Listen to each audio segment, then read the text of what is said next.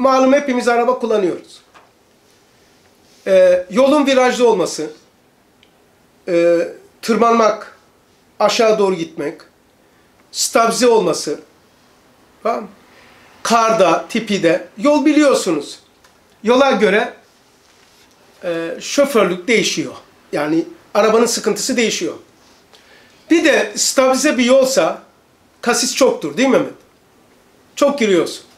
Benim biraz mesleğim uçak bir de otomobil motoru ol, olduğu için onu okumuştuk.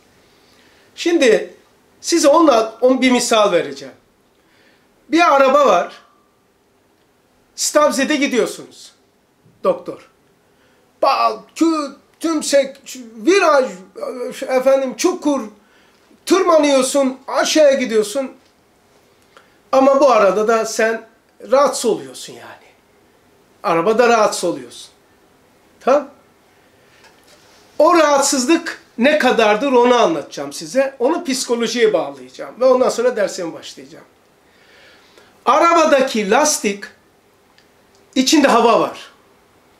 Araba kasise vurduğu zaman, darbeye girdiği zaman ilk darbeyi havanın lastiği alır. İlk göğüs veren odur. Çoğusunu arabanın darbesini şoföre hissettirmemek için ilk önce lastik üzerine alır. Tamam?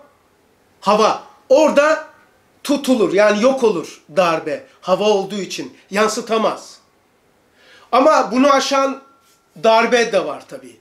Bazıları hiç hissetmezsin ama açtığı zaman bir ikinci o darbe üzerine alan yay gelir, yay.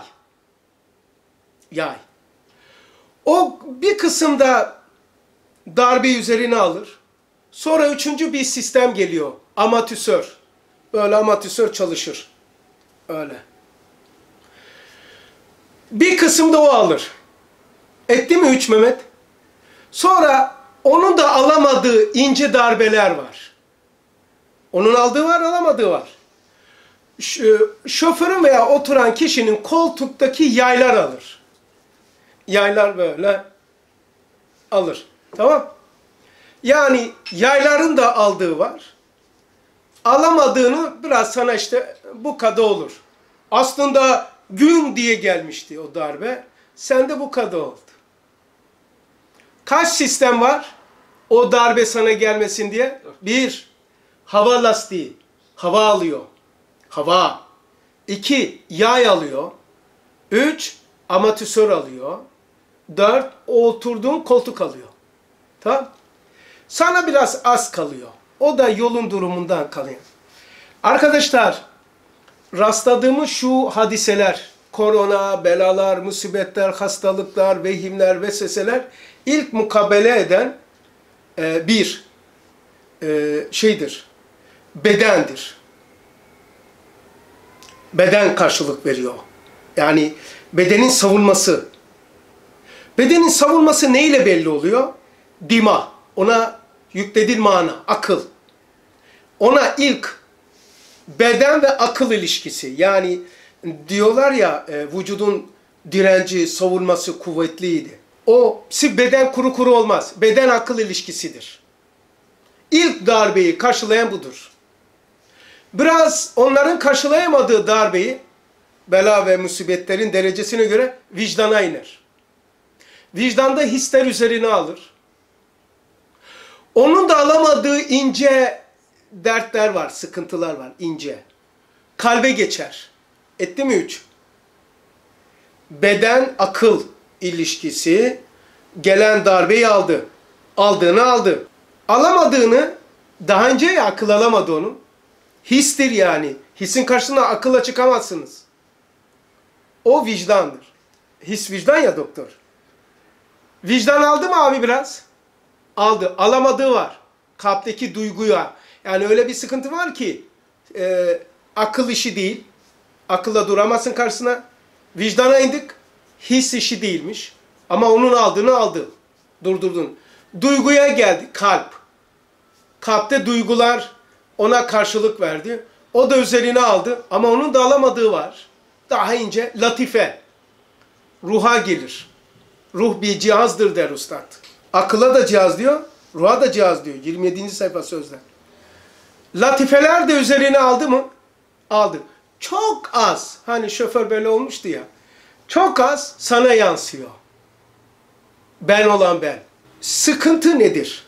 Şu pergelinizi, ondan sonra derse başlıyorum. Şu pergelinizi ana merkeze koymasanız, bir biliyorsunuz pergelin bir ince demir tarafı var. Bir de kalemin konulduğu yer, yer var. Tamam. Eğer siz bu demiri, şu, şunu sabit yere koyamazsanız bu daireyi hiçbir zaman tamamlayamaz. Böyle böyle olur. Oynak olur. Bunu sabit bir yere, şunu, şu demiri sabit bir yere koyarsanız bu doğru çizer. Ölçü şudur arkadaşlar. Darbe. Bir, bu dünyaya biz imanı kazanmaya ve kaybetmeye gelmişiz. Resul malımızı neşünemalandırmaya geldik. Bu, bir, bu kesindir. Bitti. Bütün her şey bu eksendi. Bu merkezde düşünülecektir. Bedenime gelen darbeler, aklıma gelen darbeler, vicdanıma, kalbime, ruhuma o kadar mühim değil. Yani alem İslam'a indirilen darbeleri ilk önce ruhumda hissediyorum diyen ustadın talebeleriyiz. İlk önce o zaman imanı kazanma veya kaybetme davası başımıza açılmış. Demir oraya koyacaksın. Ha, imanına kuvvet veriyorsa, imanına zaaf veriyorsa ölçü odur. Neye benziyor? Gemilerin tonajı, büyüklüğü, uzaklığı, yakınlığı farklı ama limanda İbrahim Küçük Göz kardeş. Görüntünü kapat abi. Şimdi limanda bir baba var. Baba.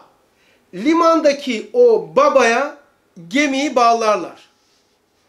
Ona göre uzaklık yakını sabit o. Bizim de bir sabitelerimiz var. Şu darbe, musibet, dert, bela odur ki dine gelendir. Sabitiyeti koydun. Ha, ondan öncekileri üzerine alan arabayla insana değiyorum, kapatıyorum.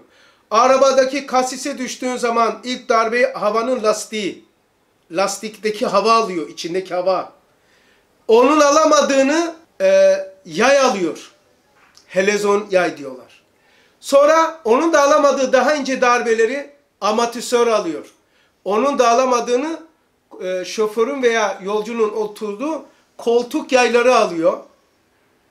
Onun da alamadığı sana yansıyor artık. İmanımıza gelmemesi için gelişen hadiselerde ilk darbeyi akıl ve beden karşılıyor. Akıl. Onun üzerine alamadığı darbeyi vicdan üzerine alıyor. Çünkü vicdan histir. Vicdanın da alamadığı darbeler var. Kalbe ait. Kalbe geçer. Duygu. Duygular alır. Duygunun da alamadığı ruhtaki latifeler alır. Ondan sonra gelir sana. O sana geldiği zaman sabitiyen nedir? İmanı. Biz bu dünyaya imanı kazanmaya ve kaybetmeye gelmişiz. Allah muhafaza. Resul malımız olan sermayeyi nemalandırmaya gelmişiz. O noktadan, merkezden düşünüldüğü zaman bunların hiçbir şey olduğunu göreceksiniz. Hastalığın da hastalık olmadığını, dertlerin de dert olmadığını, derman olduğunu o zaman gözüküyor. Hep onu okuyoruz. Bu mukaddemeyi yaptıktan sonra yani sabitelerimiz oynamaması lazım. Şu pergelin, şu kalemin doğru çizebilmesi için şu demiri batırman gerekiyor. Sabiteye koy. Ondan sonra bu daire çizer. Eğer bunu batırmadın, sabit yapmadın, bu oynadı mı bu da oynar. Hiçbir şey hiçbir şey doğru değildir. Her şey birbirine girer.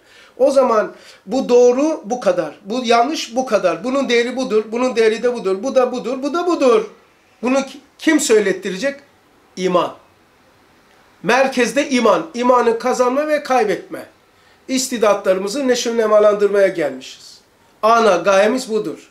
Bedene gelen, aklımıza vesveseye gelen şeylerle o kadar ilgilenmememiz gerekiyor. Meşgul olmamamız gerekiyor. Ana temayı tutturursak ana derdi, derdi, dert edinirsek o derdi imanı diğerlerini Allah üzerine alıyor. Benim din- dinimi diyor dert edinenin derdini üzerime alırım diyor. Peygamberimiz Aleyhisselam Cenab-ı Hak hakkında söylüyor. Bilmana hadisi söyledim. Yani o zaman imanı, iman esas, imanı biz e, korumayı, muhafaza etmeyi esas alırsak bedensel, e, aklımıza, kalbimize gelen vesveseler, vehimler, e, korona ölümleri, salgınlar, içeriye tıkandık, şey yaptık. Ya içeriye tıkandık mesela pergeli koydun, itikafa gir. Ya itikaf işte. Mecburi bir itikaf. Şimdi ha- hayatında hiç yapma. Fa, farz-ı kifaya bir şehirde hafızın bir hafızın olması farz-ı kifayedir. Başka farz-ı kifaye en az üç kişi cenazeye şey bir kişi bulunması lazım Hanefi'ye göre. Cenaze namazı farz-ı kifaye. Bir de itikafa girmek. Hiç ömrümüzde girdik mi? Ya işte içeriye girmeye farz-ı kifaye bak. İtikafa gir. Niyet ettim itikafa girmeye diye. Her şey. Bak o merkezde her şey değerlendirilecektir. Bismillahirrahmanirrahim 15. deva.